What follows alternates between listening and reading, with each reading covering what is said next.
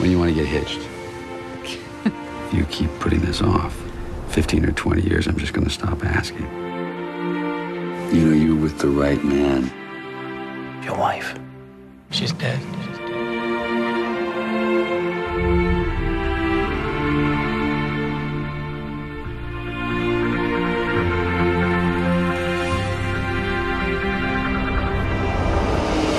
How did you get here?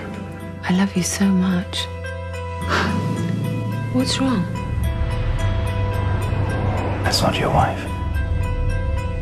You're dreaming her.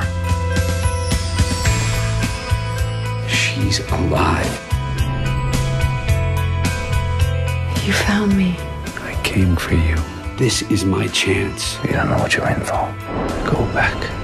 Go back to Earth. You'll die here. You're being manipulated. We are not taking her with us. Are you to stop me from taking her back?